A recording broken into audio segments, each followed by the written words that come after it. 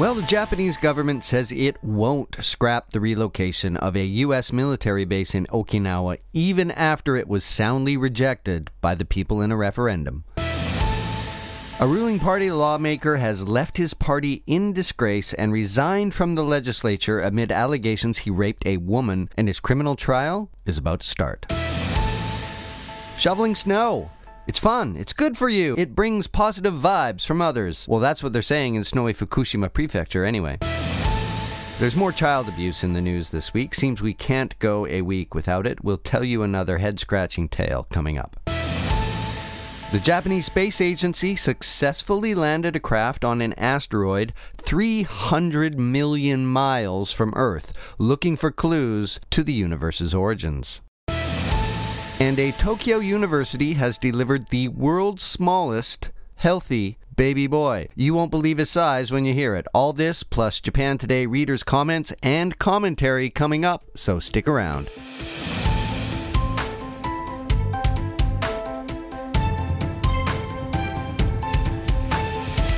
Hi, I'm Jeff Richards, and welcome once again to Japan This Week, a quick recap of stories we've been following on the Japan Today website. It's Friday, March 1st, 2019.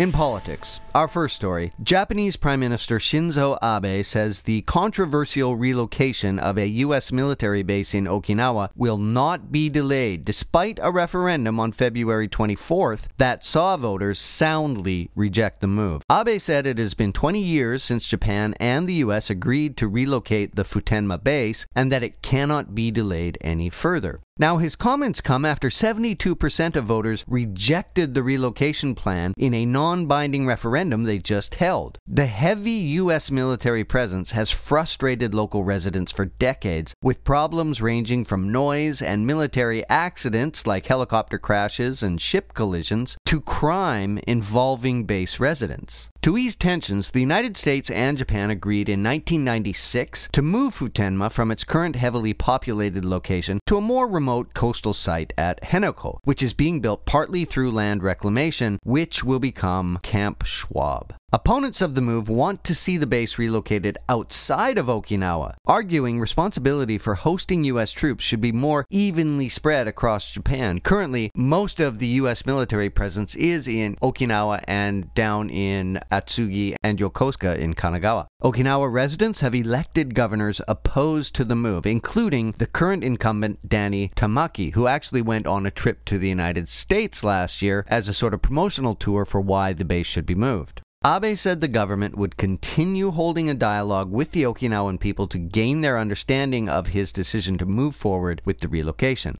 Well, Japan Today readers, wait in on that. Yuri Otani says clearly the majority of the people of Okinawa are against the new airfield. The Americans and Japanese do not care about the opinion of the Okinawan people. The Americans only want free bases, and the Japanese want the Americans anywhere but the home islands. Yubaru's view is this this referendum should have been done decades ago. It should have been a message sent before things got this far along. Everyone prior to this, including Okinawan politicians, had their hands out for their cut. They wanted the money, and Okinawa couldn't come to any conclusion. The national government has had enough, and look, Futenma is going to close, and the landfill at Schwab will be completed. Some good points there. Yeah, it's a very divisive subject. There's money involved, there's jobs involved, there's the local residents' concerns involved. I don't think we're going to get this thing sorted anytime soon. What do you think? Do you live in Okinawa? Have you been to Okinawa? Are you in the U.S. military stationed here in Japan? What do you think? Let us know at podcast at japantoday.com. Well, our next story is out of politics as well, but this one I guess is also crime too. A former Liberal Democratic Party lawmaker, the LDP is the current party in power, has tendered his resignation to the Diet, the Diet is the Japanese legislature, after facing pressure to do more than just quit the party over allegations that he raped a woman he was dating in December. Tsuyoshi Tabata, a 46 year old three time member of the House of Representatives who formerly worked at the Bank of Japan, Japan, resigned from the LDP last week, but criticism has been growing from both the ruling and opposition parties over the scandal. The woman has filed a criminal complaint against Tabata in Aichi Prefecture, alleging that he sexually assaulted her at her home while she was sleeping after a wining and dining session. Tabata is also suspected to have taken photos of the woman with his mobile phone while she was naked. The weekly magazine Shukan Bunshun has announced on its website that it will soon report yet another allegation of his alleged sexual misconduct. Now, you need to visit us and stay tuned to Japan Today for that story when it's coming out.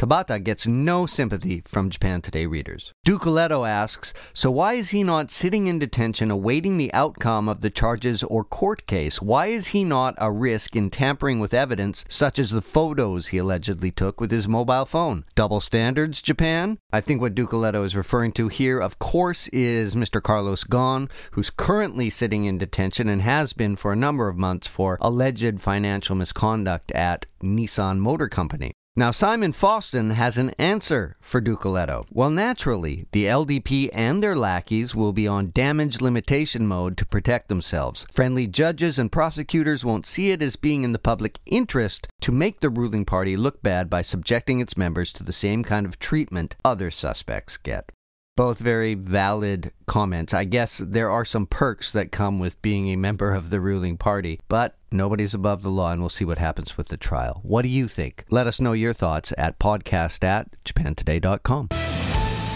In our crime section this week, sadly, we have yet another story of child abuse that is just as sad and frankly pathetic as the ones we've reported in recent weeks. Police in Kagoshima Prefecture have arrested a 31 year old woman on suspicion of abusing her 8 year old daughter in early February after she threw a TV remote control at her. Police said Saori Takano threw the remote control at her daughter, hitting her beneath the right eye. The girl had a swollen right eye and bruise on her face for about a week after the incident. Her grandfather then took her to a police station and said he was concerned that she was being abused. Police contacted child welfare authorities who took the girl into protective custody. Police quoted Takano as saying she lost her temper and threw the remote control but didn't mean for it to hit her daughter. They never do. Well, it turns out police have said that when the girl was in a nursery school in another city in 2012, she had burn marks on her body, indicating she may have been abused regularly. Police visited Takano, who told them her daughter had burned herself with a hot iron, because kids always play with hot irons.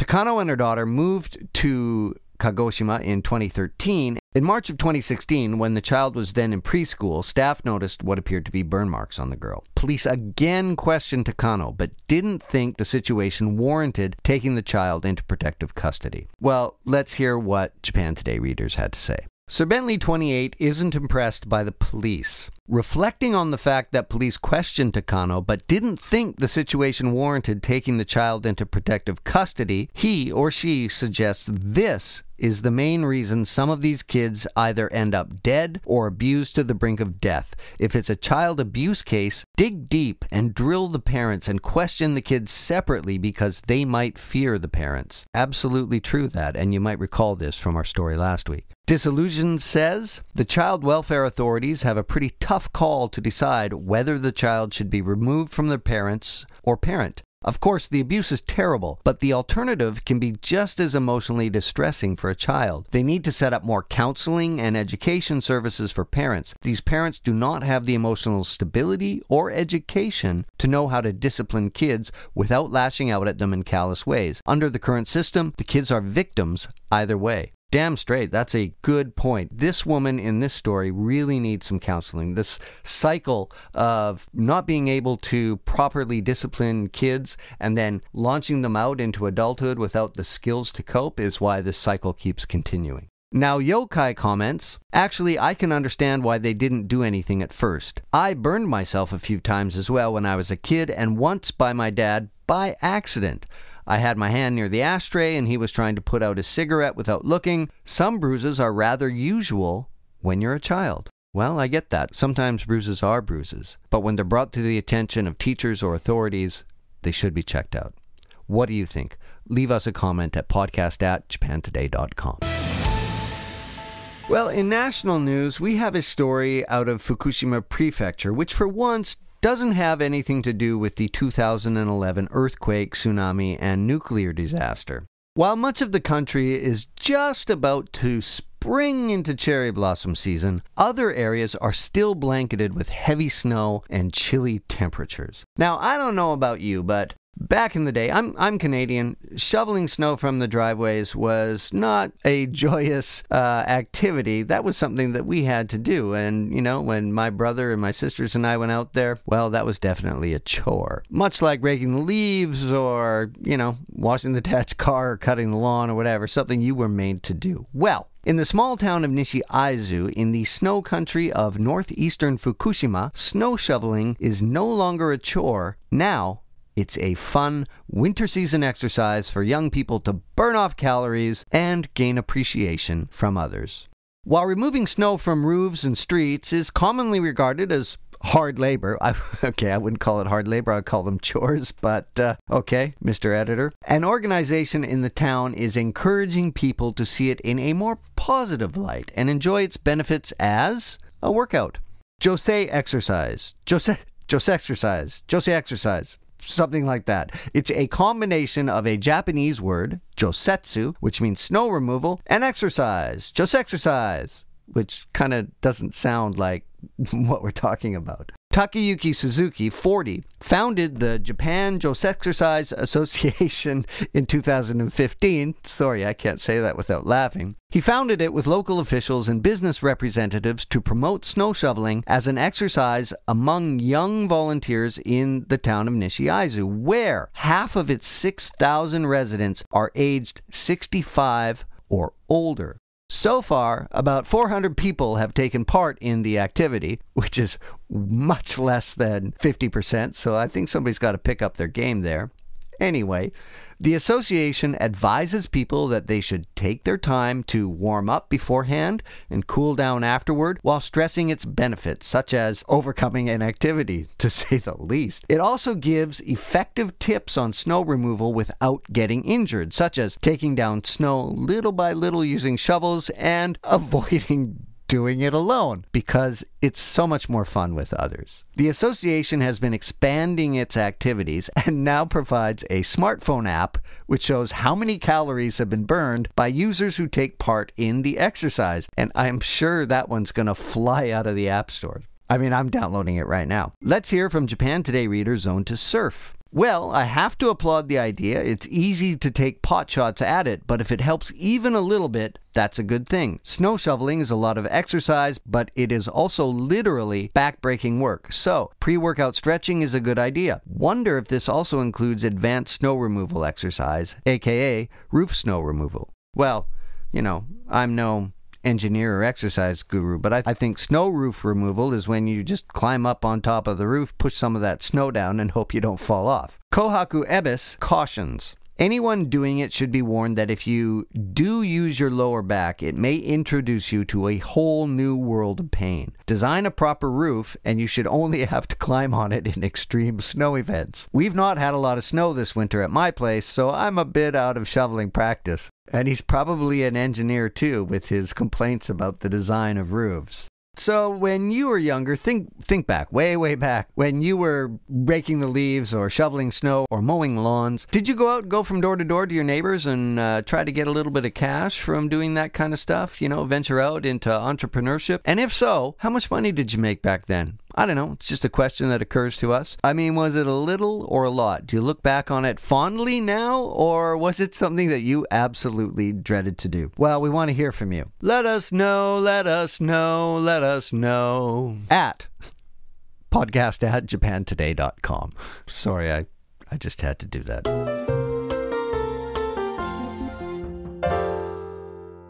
Well, in tech news this week, a Japanese probe and no, we are not talking about proctology here. About the size of a large fridge, we're obviously not talking about proctology here, was sent to examine an asteroid about 300 million kilometers from the Earth for clues about the origin of life and the solar system. Well, it landed successfully last week. Data from the probe called Hayabusa 2 showed changes in speed and direction which indicated that it had touched down on the asteroid and was blasting back to its orbiting position, according to officials from the Japan Aerospace Exploration Agency, commonly known as JAXA. The probe fired a bullet into the asteroid to stir up surface matter, which it would then collect for analysis and send back to Earth. Well, actually, bring back to Earth. The asteroid is thought to contain relatively large amounts of organic matter and water from some 4.6 billion years ago when the solar system was born. Now, scientists hope those samples may provide answers to some very fundamental questions about life and the universe, including whether elements from space helped give rise to life here on Earth. The Hayabusa 2 mission, with a price tag of around 30 billion yen, which is about 270 million US dollars, was launched in December 2014 and is scheduled to return to Earth with its samples in 2020. Hopefully, just in time for the Olympics. That would be a great splashdown as part of the opening events. Well, congratulations have poured in from Japan Today readers. Crazy Joe calls it wonderful, sending something far, far away to something tiny with brilliant, delicate precision. And folks, this is all built on science and research that sometimes looks to have no practical applications. The advancement of knowledge is just awesome. I hear your enthusiasm, Crazy Joe, and yeah, I kind of like it. Brownie adds, quite insane that an object can be directed and fully controlled over 280 million kilometers and then land precisely on a couple of tatami mats, and even more so, collect samples and then take the arduous journey back to Earth and remain intact, they hope. Super science. That's right, Brownie. Super science. And also, let me explain. Tatami mats are small flooring mats used here in Japanese houses that are about, I don't know, two and a half to three feet by two and a half to three feet. Pretty small. I don't know how you can't like that story. Sending something from right here on Earth all the way out to the edge of the solar system and land it on a small asteroid and then bring it back home safely. That is phenomenal. That is, of course, unless they're not filming this all on a soundstage in Tokyo. What do you think? Send us your thoughts to podcast at japantoday.com. Well, we finished this week's program with something from the national news section and another human triumph, this time in medicine. Keio University in Tokyo says a baby with a birth weight of 268 grams, that's just under 10 ounces, has returned home healthy from its hospital after increasing to a weight of 3,238 grams, or slightly over 7 pounds, becoming the smallest boy in the world to have survived such a birth weight. Now, the baby was at first so small that he could be fit into an adult's cupped hands, but after being treated in a neonatal intensive care unit at the hospital by managing his breathing and nutrition, he grew steadily and became able to breastfeed. There have been 23 babies worldwide who were prematurely born weighing under 300 grams and survived, but only four of those were boys, according to the Tiniest Babies Registry. Now, this website's out of the University of Ohio, and it actually exists. The Tiniest Babies website. You really should check it out. The boy from Tokyo was born through an emergency C section in August as his weight didn't increase at 24 weeks gestation, and doctors judged his life was in danger, the university said. He left the hospital last Wednesday, two months after the initial due date. Well, the news has delighted, of course, the parents and the family, but even Japan Today readers are weighing in. Goldorak remarks, Reckon the baby could fit in the palm of my hand. 268 grams. I have eaten bigger steaks. Advancement in healthcare and medicine is such a wonderful thing. Absolutely, Goldorak, but you know, you're comparing it to a steak, which is something that you eat, which I don't know. It's kind of a weird comparison, but I get what you're getting at there. And from Toasted Heretic, it's always good to read stories like this stories of humanity, rescue, science, inspiration, and tales that brighten one's day. Wow. Toasted Heretic, you just summed it up, and I think I'm going to let you have the last word.